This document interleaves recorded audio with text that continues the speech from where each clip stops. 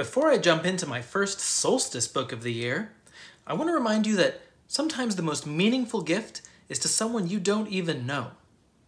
I'm partnering with an outdoor store in my hometown of Portland, Oregon on a fundraiser to buy warm clothes and camping gear for people who don't have stable housing to help make their winter a little easier. There will be a link to donate in the description if you have a bit of extra cash. And if you've got any old clothes or blankets or camping gear that you aren't using in your own house, you could donate them to an organization in your own community and help someone in need. Anyway, this is The Shortest Day, celebrating the winter solstice, by Wendy Pfeffer, illustrated by Jesse Reisch. For Steve, Diane, Mark, Jennifer, Sharon, Johnny, Kirsten, Paul, Eric, and Jill, several of whom are fine writers. WP.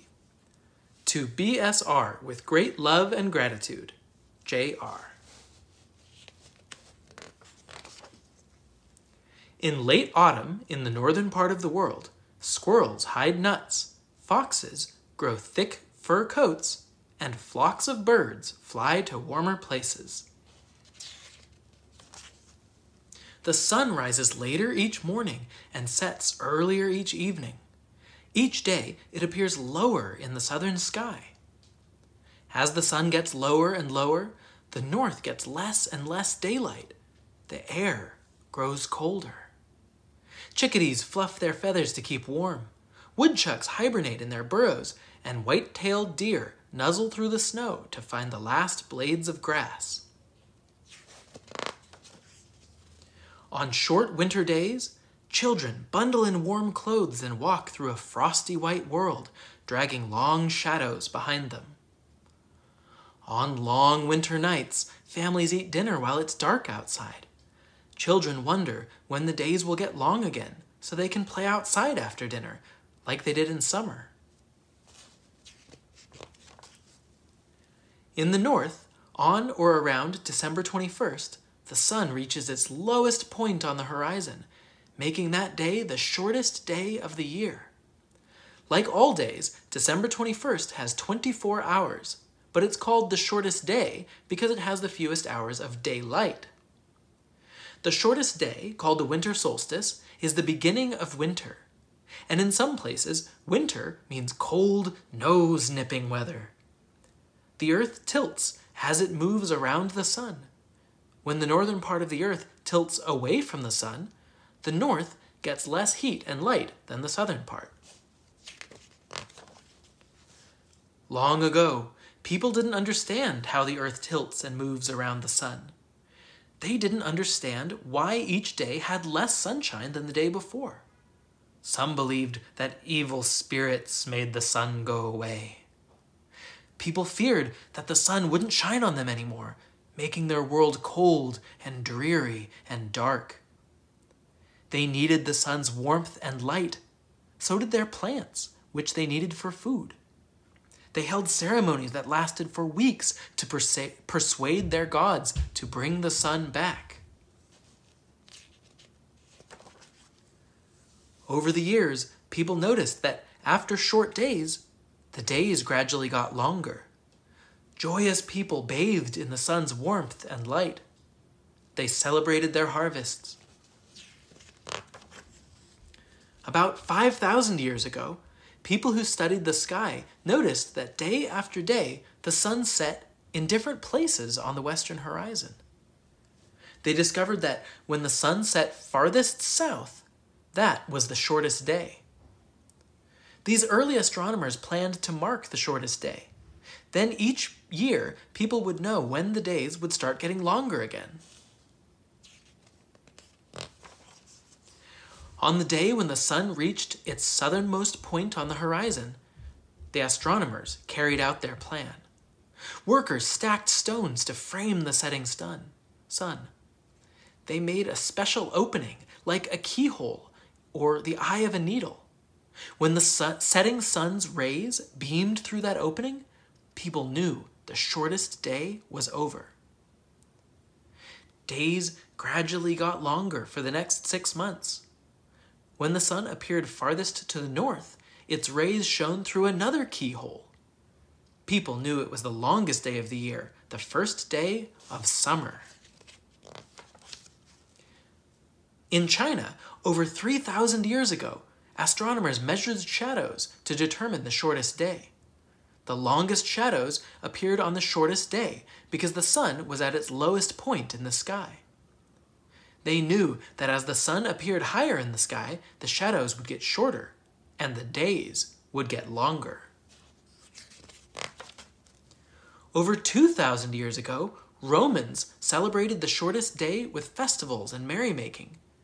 They gave evergreen branches to friends as a sign of good luck.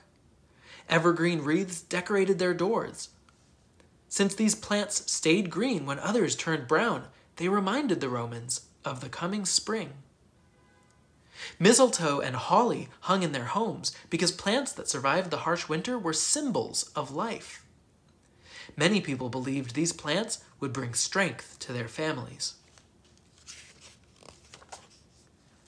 About 1,000 years ago, Europeans celebrated the winter solstice. Druid priests of England and Ireland decorated oak trees with golden apples and candles to represent harvest and light. In Sweden, a festival of light celebrated the return of longer days. On St. Lucia's Day, girls wore crowns of evergreens and candles to rekindle the sun's fire as they delivered warm buns to family and friends. Boys went from door to door, singing to the neighbors for a few coins. Around the same time in history, the Incas of Peru marked the shortest day with a festival in honor of the sun. At dawn, when the sun first appeared, shouts of happiness rang out. Then the Incas used a shiny surface to reflect the sun's rays onto fluffy, dry cotton. The sun heated the cotton and made it burst into flame. They carried the fire to their temples and kept it burning on the altars all year because it came from one of their gods, the sun.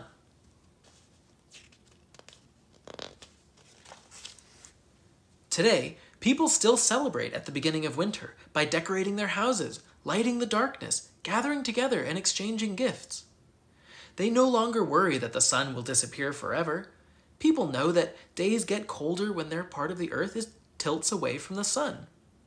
They know that days get shorter when the sun appears lower in the sky. People celebrate the shortest day because longer days follow. Flocks of birds will return, seedling oak trees will sprout, and children can play outside after, win- after dinner. For more than 5,000 years, people have welcomed the winter solstice because it's a new beginning.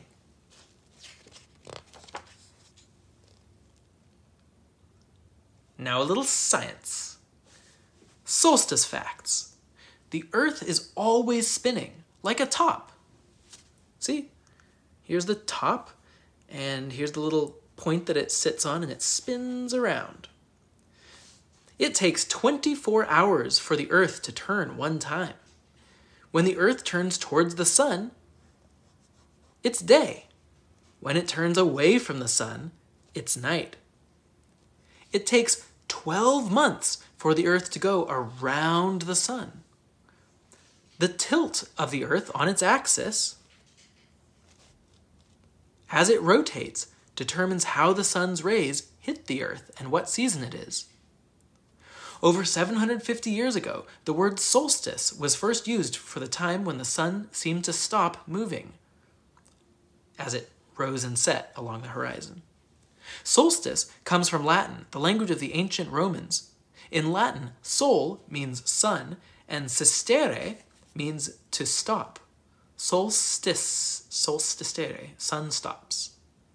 In the northern part of the world, the winter solstice usually occurs on December 21st, but the Earth doesn't move at a steady speed around the sun, so sometimes the winter solstice occurs on December 20th, 22nd, or even 23rd.